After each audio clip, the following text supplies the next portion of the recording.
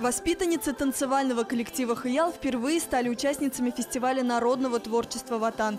Готовились долго и тщательно, подбирали костюмы, репетировали танцы. Для них этот фестиваль – важное событие, один из способов обратить внимание на себя и свой талант. Признаются, перед выступлением очень волновались. Выступаем первый раз.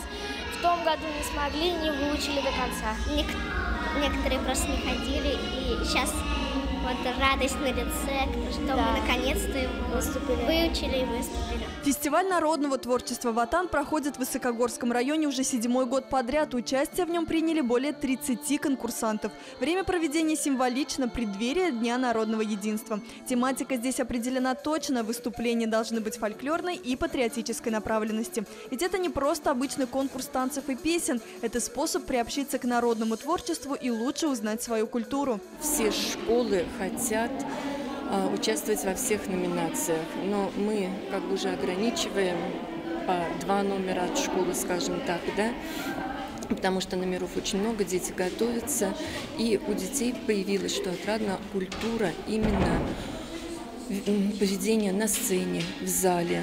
С каждым годом фестиваль становится все более масштабным. Если раньше принять участие в нем могли только школьники, то сейчас большую активность проявляют и воспитанники учреждений дополнительного образования Высокогорского района. Ватан для детей – хороший способ заявить о себе, а количество участников в очередной раз подтверждает – Высокогорский район на таланты очень богат. Гузель Газизулина, Фаниль Мухарлямов. Новости Татарстана.